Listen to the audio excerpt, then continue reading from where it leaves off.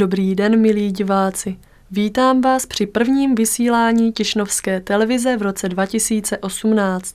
Dovolte, abych vás pozvala ke sledování dokumentu Marie Kadlecové. V cyklu Umělci od nebeské brány se nám představí rodák ze Šerkovic, umělecký kovář Jaroslav Zelený.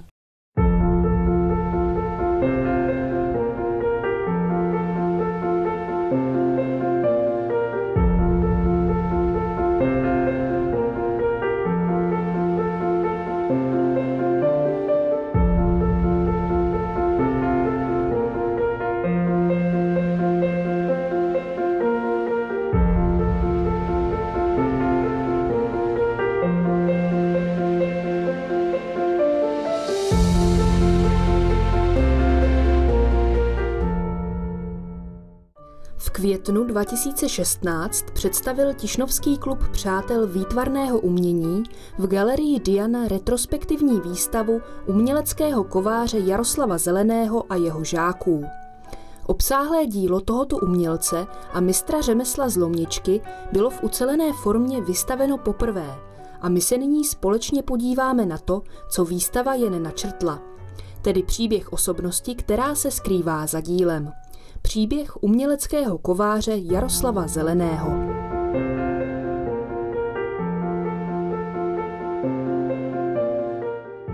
Jaroslav Zelený se narodil v Šerkovicích roku 1934 jako druhé dítě uměleckého zámečníka Jaroslava Zeleného a jeho ženyAny. Otec byl živnostníkem a měl pronajatou dílnu v Lomnici, kam malý Jaroslav docházel do měšťanské školy. Ze školy jsem chodil pomáhat do jeho dílny nebo pronajaté dílny a tam jsem už přivoněl k tomu řemeslu zase to, co on tenkrát mož, možnosti rámci takový, co vyráběl, nebo co ho napadlo, aby mohl, protože potřeboval z něčeho žít, tak vymýšlel, co by šlo na odbyt a na prodej. K práci s kovem se tak Jaroslav dostal už jako malý chlapec. V dílně se pohyboval spolu s otcovými žáky a ačkoliv si později přál vyučit se u otce a pokračovat v jeho řemeslu, doba tomuto záměru nepřála. V tom původním nebo v tom zaběhnutém nebo tradičním systému to vypadalo tak, že pokud byl třeba otec, jako bude případ tedy pana Zeleného, kdy se dědila vlastně jako, nebo mohla dědit vlastně živnost nebo umělecké kovářství, tak pokud byl eh, ten otec eh, měl mistrovské zkoušky, tak prakticky ten syn, který od mládí eh, se s tím, s tím řemeslem seznamoval a vlastně to v něm nějak vyrůstalo, ta snaha nebo touha pokračovat v tom, v tom řemesle nebo v té živnosti, tak se mohl u toho otce vyučit a ty teoretické předměty na ty, na ty chodil na takzvané pokračovací školy. Ale ten systém teda eh, se vlastně zhroutil po tom roce 1948. A čím dál od centra, tím teda ten tlak byl, byl silnější. Takže eh, třeba ve velkých městech nebo v těch aglomeracích, tak ty řemeslné živnosti delší dobu přetrvávaly a tam, kde, kde to bylo na těch dědinách a kde byli teda ti revolucionáři jako tvrdší a důraznější, tak tam vlastně likvidovali ty živnosti teda velmi rychle. A to potkalo třeba i e, rodinu pana Zeleného. Protože pokračování v rodinné tradici nebylo možné, nastoupil Jaroslav v roce 1950 do učení v moravských elektrotechnických závodech Drásov, obor strojní zámečnictví. My jsme tam převážně pilovali, kdybych to dokázal pomenovat, když si vzpomenu, že tam byly takový přepínače, spínače, které měly měděný takový přívlastky a ty jsme museli pilovat do takových těch rádiusů, aby to šlo spínat, zapínat a prostě, a to jsme vlastně dělali celý rok, furt pilník ruce a naše vaše stály dokola. Po vyučení následovala vojna na Slovensku u pluku tankistů, kde Jaroslav sloužil jeden rok. Poté byl převelen do Brna, kde prožil druhý rok vojenské služby. Po vojně jej čekal návrat do drásovské továrny. Když jsme zase potom končili na vojně, kdo kam půjde, no jak jsme se tak bavili mezi sebou, že s chlapci, že tam, no, tak já mám, zase si učil drásy, zrovna si budu vracet do, do Drásova. A teďka, vzájemně, jak jsme si tak povídali, tak můj kamarád Jara Adámek říkal, Jara, já člověče, představ si, jsem se naš, náhodou dověděl, že v Brně na Staňkové je tam nějaký umělecký kovářství a zámečnictví a dověděl jsem se, a mám to domluvené, že tam půjdu jakoby z vojny. Mám, no ty to máš, ty to, to ti teda vyšle, to ti moc závidím. No on říká, kdyby náhodou, tak já ti potom dám vědět. A opravdu za, za rok mě přišel lístek od něho, pozdrav, Jaroslav, tě zdravím, je to možný, mám to tady rozjednaný, zkus se zastavit a uvidíme. Jaroslav skutečně opustil drásovskou továrnu a v roce 1958 začal pracovat pro Brněnské ústředí uměleckých řemesel. Tam jsem se musel hodně koukat kolem sebe a učit se vlastně, já jsem se začal učit všechno od piky tam, protože opravdu, jak říkám, já jsem se v Drásově naučil jenom pilovat a tam teda, i když jsem měl zase určitou praxi z tátové dílny, kde jsem chodil přidržovat, pomáhat, pomáhat a tak dále, že jsem už tam taky měl nějaký ten základ, takže zase takový, jakoby se nevědomý nebyl, ale určitý povědomí jsem už u tom řetězce měl, takže jsem se tam celkem rychle e, zotavil a, a začalo mě to samozřejmě bavit, protože tam se dělali nádherné věci. Základ jejich činností a největší objem byla, byla práce restaurátorská.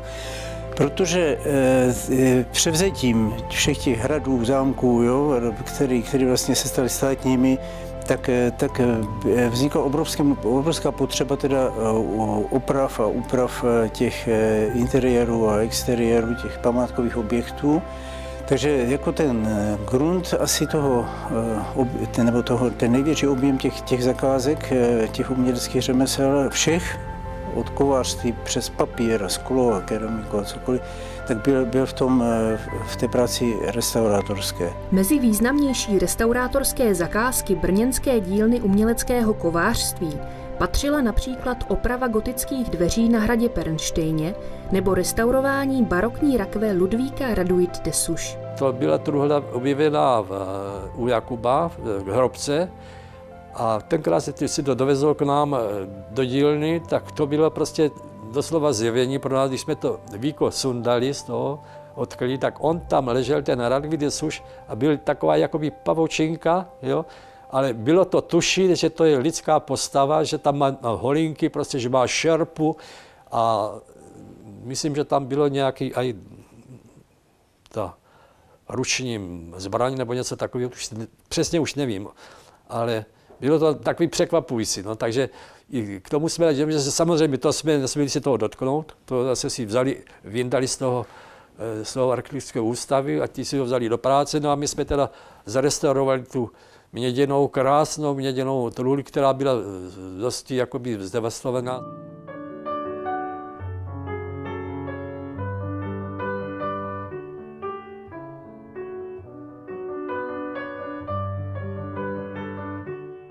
Práce v brněnském ústředí uměleckých řemesel byla rozmanitá. Kováři pracovali na kovaných branách pro nejrůznější instituce, ale dostala se jim do rukou i jemná práce, jako například symbolický klíč od města Brna nebo žezlo pro rektora Vysokého učení technického.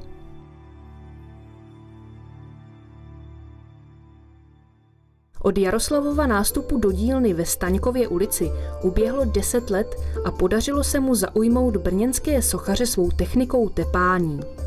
Obvyklá sochařská praxe totiž po tvorbě malého modelu přecházela k odlití modelu jedna ku jedné. Jaroslavovi stačil pouze model třetinový nebo čtvrtinový, podle kterého si po té práci rozkreslil a sochu postupně stavěl a spojoval s vářením. Tím se proces tvorby soch zlevnil i zrychlil. Mě lákala hodně plastika, takže já v té době jsem eh, si vypůjčil, protože jsme pracovali s rodinní sochaři a dokonce s nějakým Ladislavem Gajdou z Ostravy. Byl jsem u něho v ateliéru, tam měl nádhernou bystu, jenom tak prostě volnit. A já jsem se ho ptal, na co říkal, no to mám jenom tak, a jestli bych si to mohl půjčit, takže jsem tu hlavu tenkrát si od něho vypůjčil a já jsem se tenkrát odvážil, tak se tu hlavu, vlastně to byl první moje taková sochařská práce a když jsem to udělal, tak se to dopadlo do dobře, dokonce, dokonce to dostalo první cenu na celostátní prolic přehlídce umělecko-řemeslných prací v roce 67-68. Takže tím vlastně jsem nalákal na sebe pozornost. Je to teda vlastně asi to nejvýznamnější nebo nejzajímavější, co je s, Brně, s brněnskou s brněnskými řemesly uměleckými a s osobou pana Zeleného teda spojeny. To jsou, to, je, to jsou vlastně ty sochy, které jsou tepané a svařované z toho, z toho měděného plechu. Oni tady v tom dosáhli jako značné virtuozity, taky, ale sochaři si zvykli na to, že i tato technologie je možná využívat, ale přineslo to úplně jinou, jinou jako jiný pohled eh, na, na, tvorbu, na tu tvorbu samotnou a v tomto teda jako tady ta umělecká řemesla a řekněme všechno, co, eh, co tady to brněnské, ten brněnský závod jako, jako konal, bylo do jisté míry takovým průkopnickým anebo virtuózním, bych řekl. Právě tato technika přivedla mnohé sochaře do dílny uměleckých řemesel a později i do Jaroslavova vlastního ateliéru. Některé sochařské zakázky totiž kvůli velikosti nebylo možné realizovat v dílně ve Staňkově ulici. V té době si už Jaroslav budoval svůj vlastní ateliér v Lomničce a tak se často stávalo, že po příjezdu z práce dále pracoval ve svém vlastním domácím ateliéru. Nebylo to lehké, protože to jsem dělal všechno za provozu za pochodu, protože já jsem jednak byl samozřejmě zaměstnaný v Brně tam ve své profesi uměleckých řemeslech. Tam jsem měl svoje povinnosti, které jsem si musel taky uhlídat, že jo, odborně a kvalitně, prostě jak tu práci, tak uh, ten kolektiv. No a odsud se se vracel sem, kde už jsem měl zase starost o vyprojektování přestavby této provozovny, kterou jsem si stavil vlastně i s přístavbou na takový záměry i obytným. Jak v dílně uměleckých řemesel v Brně, tak v Jaroslavově vlastním ateliéru vzniklo mnoho sochařských děl, která ještě dnes zdobí veřejná prostranství v Brně, Znojmě, Žďáru nad Sázavou, Opavě, Ostravě a mnoha dalších městech. Já jsem převážně pracoval s Markem, Silvou Lacinovou, Frantou Navrátilem, Babrajem, a ti vlastně byli zase odkojenci toho Makovského, takže to bylo zase ta náhoda, že vlastně jsem přivoněl k tomu Makovskému taky.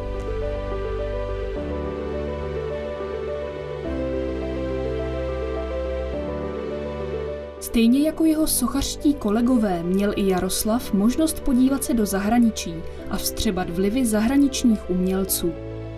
V roce 1973 zavítal na světovou výstavu do Toronta se sochou Zrození, kterou navrhl sochař František Navrátil. Ona byla v určité době zase na stáži společně Silva Lacinová, Konrad Babraj a Ladislav Gajda z Ostravy u Henry Moora v Anglii na stáži.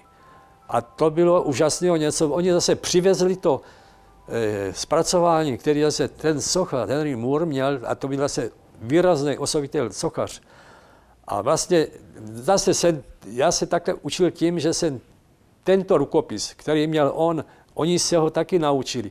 Tak já jsem zase čerpal z toho a proto i toho Henryho Moora, kterého já jsem vlastně, když jsem se dostal dokonce na tu výstavu, která byla potom v Torontu, a já jsem tam prostě se špacíroval po tom Torontu, kde on měl svou monumentální plastiku před velkou novou radnicí v Torontu a potom, když jsem se tak coural, potom to úplně z okolností se narazil na galerii, kde ten Henry Moore měl svou výstavu. A to bylo něco zase neuvěřitelného, že jsem, já jsem bloudil a trefil jsem na tu výstavu. Jaroslav a jeho kolegové z dílny uměleckých řemesel přišli do kontaktu také s umělci působícími v Praze. S Olbramem Zoubkem a Evou Kmentovou spolupracovali na realizaci díla, se kterým se můžeme denně setkávat v centru Brna. Tak to byla zase krásná práce. V Brně se stavilo nové divadlo a Eva Kmentová tenkrát eh, navrhla to zábrady, které napručili, jenomže a dostali jsme to, ty modely, dostali jsme zase jenom v pětinovém eh, měřitku a Jenomže následně na to krátce ona zemřela. Tak to už potom její potom manžel, který Olbram, tak ten už potom eh, spolupracoval s námi v tom, že co jsme to, eh, to jsme dělali v Brně, v řemeslech, v naší dílně, tam, kde jsem já dělal toho mistra, takže to už hlídal Olbram Zoubek a to byla taková jedna z prvních prací s, s ním, co jsem já měl. A potom už k další spolupráci bohužel nedošel, což bych byl rád, jenom že on je Pražák, že jo? takže ale on převážně si dělal věci zase sván, protože on měl takovou zvláštní technologii, má do dneška, že on si to dělal hlavně do kamene, jo, do betonu a odlíval to. Takže on ten rukopis, který on mal, takže to on si dělal převážně jakoby se dá říct sám. Ten finální výsledek si řada, řada těch výtvarných umělců dělala sama, jo? grafika takto, nebo se spolehli teda na, na eh, odborníka uměleckého, eh, tiskaře a tak, jo? nebo kováře. Ale eh, pokud, pokud teda ta součinnost byla nezbytná, a to je třeba u, u u, soch, u sochařských děl je to teda skoro, skoro pravidlo. Tak e, buď, samozřejmě vždycky si musel, musel se spolehnout a vybrat si teda odborníka nebo dílnu, která zaručila, že ten výsledek jako bude bezvadný. A samozřejmě toho uměleckého řemeslníka nebo šéfa té, třeba té slevárny a tak, tak to je jako, jako v běžném životě. Buď si rozuměli nebo nerozuměli. Jo? Nebylo to nikdy vázáno na jednu, že by existovala jenom jedna dílna, kdyby musel někdo udělat tak dále. Čili vybírali si ty partnery.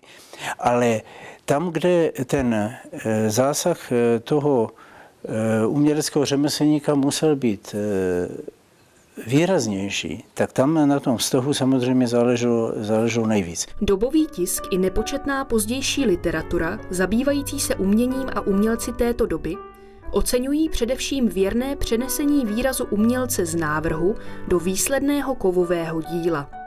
Rukopis navrhujícího umělce tedy v Jaroslavově provedení zůstává čitelný. No a rukopis, na tom jsem, na tom jsem si dal záležet, protože chtěl jsem být takový jakoby svým způsobem, eh, nechci být se tím jakoby chlubit, ale mě právě bavilo tu sochu pojednat, zpracovat taky, aby měla, aby, jak se říká, mluvila. A v tom jsem byl jakoby citlivý na rukopis toho sochaře, kde jsem se snažil zase eh, jeho dláto, který třeba někdy muselo tam zasáhnout všelijak. Že? A já jsem se snažil i to jeho dláto prostě převést, přetransformovat do toho tím kladivem, dát vtisknout duši to do toho měděného plechu. U sochařské práce, nebo když si třeba to dáme na příkladu toho, toho sochaře Marka, s kterým spolupracoval i pan Zelený, tak pokud dělal eh, odlevané sochy,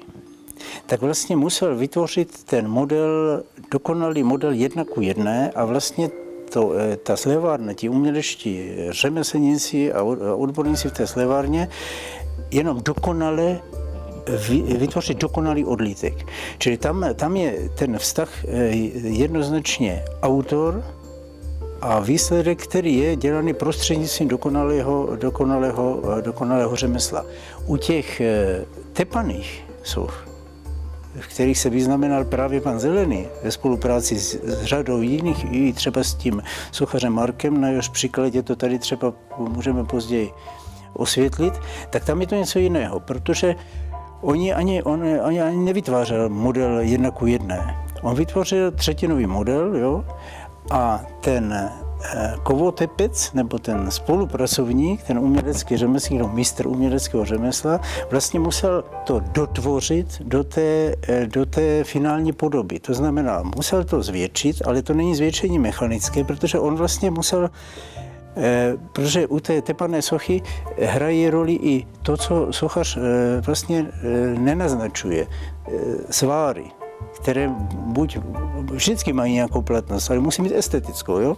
Čili on vytváří střih jakýsi a ten, ten rozkres potom musí zvětšit a e, tu sochu vlastně dotvořit. Přirozeně ten sochař e, dohlíží nebo nějakým způsobem spolupracuje s tím, e, s tím uměleckým řemeslníkem, ale tady už je to něco jiného. Tady už podle mého názoru teda, a ten Marek to vždycky vyjádřil i v těch popisech těch soch, tady už jde o spoluautorství. Jde o spoluautorství, který jde vyjádřit třeba nějakými procenty, že? protože ten základ je samozřejmě v tom sochařském návrhu, ale je to něco víc. A třeba u toho pana Zeleného, jak eh, tam ještě někde třeba se k tomu dostaneme, tak on vlastně eh, byl schopen nebo se dopracoval i vlastní tvorby. Čili tady už vlastně eh, je umělecký řemeslník a spoluautor a nakonec i sochař. Právě sochař Jiří Marek oceňoval práci Jaroslava Zeleného tím, že jeho podíl na výsledné tepané soše přiznával. Na dílech, která Jaroslav zpracoval pro Jiřího Marka, vždy najdeme také jméno Jaroslav Zelený. Pan Zelený je vynikající řemeslník, který má velkou invenci a každý kovář to ne, a pasíř teda ještě musím říct, neumí to, co pan Zelený. Že to není jenom to udělat, ale to je taky prostě mít k té plastice a, a i k tomu člověku, k tomu vytvarníkovi, pro kterého to dělá, tak on e, s ním musí nějak jako souznít, aby věděl, co ten vytvarník po něm chce a aby to potom udělal dobře. Že to není jenom okopírovat model, že to je jako prostě o tom přemýšlet a, a i trošku vymýšlet. V dílně uměleckých řemesel se také vzdělávali mladí uchazeči o řemeslo. Zájem byl veliký, protože umělecké kovářství se učilo pouze v Praze, v Brně a Jihlavě. Do dílny se tedy dostali pouze ti nejzručnější. Oni byli kluci všichni dobří, ti tam zůstali, protože takový ti slabí, to, to se poznalo, kdo na to neměl, tak odešel sám. Ale kdo měl výdrž a bavilo to, taky tam zůstali a vyrostli, opravdu z nich vyrostli zdatní, zdatní řemeslníci.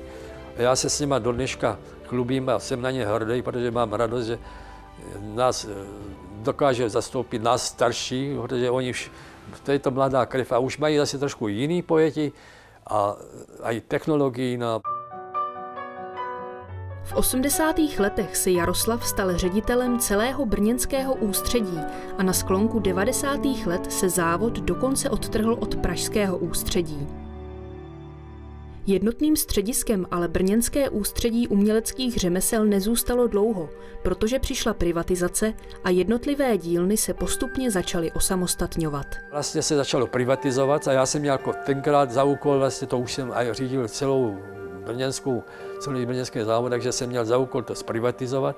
Takže vlastně jsme mi mohli nabídnout to k odprodeji provozovnu, tam, kde to šlo, tak, se, tak si to mohli koupit, odkoupit, takže oni se osamostatnili a dělají tam, pokud to ne, zase se ne, nepřešli do úplně soukromých rukou, tak tam dělají do dneška. Na osudu toho pana Zeleného teda se celý ten oblouk jako od, od toho, od, od vlastně vzniku těch uměleckých řemesel a, a jejich vrcholu až, až po tu privatizaci docela pěkně, pěkně dá ukázat. Pan Zelený vlastně nastoupil v roce 58, to znamená, on nezažil, to byl ještě mladý, ale nezažil teda ten, ten zrod toho, ale vstoupil tam ve chvíli, kdy se to vlastně te ustavilo jo, a vypracoval se teda postupně až na řediteli toho brněnského závodu. A v době, kdy, kdy teda ten, tyto mantinely té, té existence eh, platili, tak eh, dosáhli teda jako maxima, do, ale eh, Pravda je, že to bylo uměle, uměle vytvořené, protože ta činnost, to je, tu činnost je možno provádět ve stejné kvalitě všemi možnými způsoby. Jo? Nejenom socializačně, nejenom ve velkých firmách, ale skutečně i, i v té individuální formě buď živnosti nebo nějakého SROčka nebo něčeho jiného. A je logický, že teda když se ty podmínky změnily.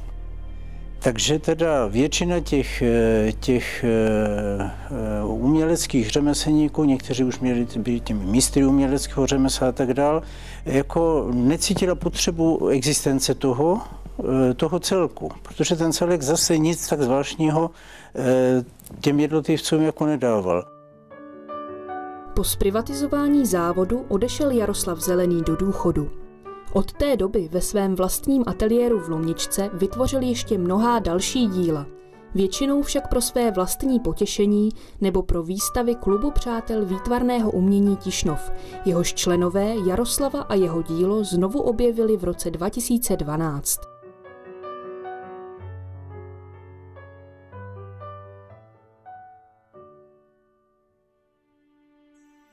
květnu 2016 uspořádali členové klubu retrospektivní výstavu mistrova díla s názvem Jaroslav Zelený a jeho žáci.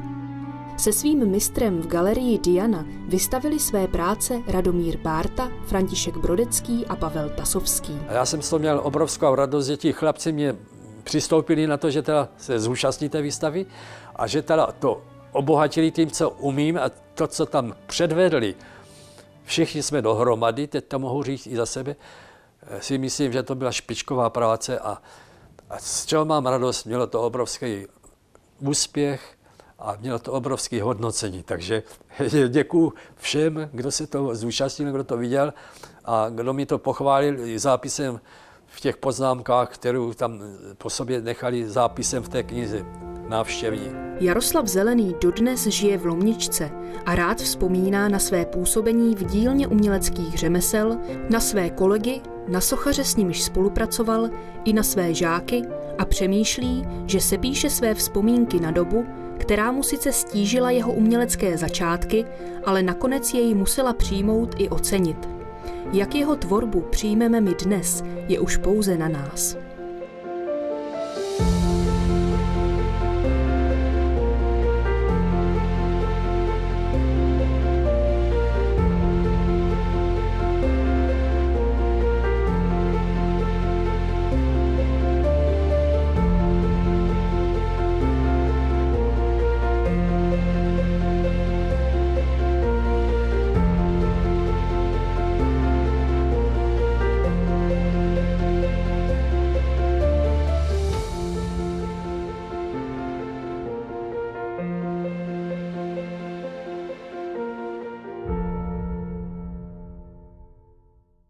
Děkujeme za pozornost.